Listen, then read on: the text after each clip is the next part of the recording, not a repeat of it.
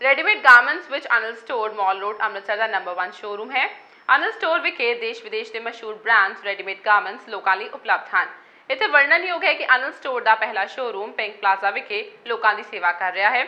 ਸ਼ਨੀਵਾਰ ਨੂੰ ਪੰਜਾਬੀ ਫਿਲਮ ਸੁਰਖੀ ਬਿੰਦੀ ਦੇ ਕਲਾਕਾਰ ਗੁਰਨਾਮ ਪੁੱਲਰ ਅਤੇ ਸਰਗੁਣ ਮਹਿਤਾ ਅਨਿਲ ਸਟੋਰ ਆਏ ਅਤੇ ਅਨਿਲ ਕਪੂਰ ਸਾਹਿਲ ਕਪੂਰ ਸਵਪਨਿਲ ਕਪੂਰ ਨੇ ਉਹਨਾਂ ਦਾ ਸਵਾਗਤ ਕੀਤਾ।